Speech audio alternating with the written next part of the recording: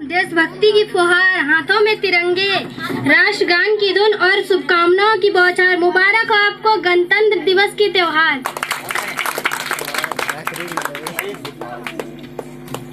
दोस्तों, आप सभी के लिए एक महत्वपूर्ण टॉपिक लेके आई हूँ। उसका नाम है मोबाइल वरदान है या अभिशाप?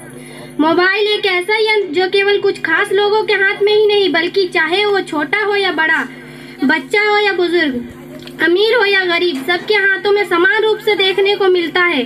सभी तो 2G, 3G, 4G में ही काम चला रहे थे 5G भी आने वाला है। और पबजी का भूत चढ़ा ऐसे चढ़ा है सभी के सर पर। पबजी खेलते खेलते अगर किसी को कुछ काम करने को कहो तो उसे मानने को उठता है।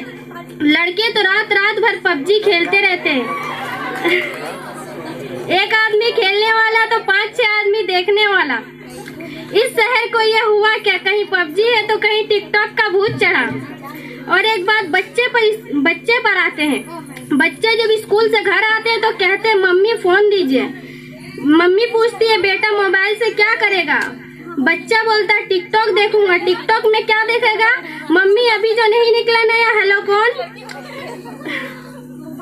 अगर उसकी मम्मी उसे वही डांट देती है तो बच्चा और फ़ोन नहीं मांगेगा। और बच्चा जब एग्ज़ाम में फेल हो जाते हैं तो वही मम्मी पूछती है, मास्टर से आके, ट्यूशन मास्टर से, कि बच्चा मेरा फेल कैसे हो गया? तो ट्यूशन मास्टर कहता है, सुंदर सुर सजाने का साज बनाता हूँ, नौ सीखियों परिंदों को बाज बनाता हूँ।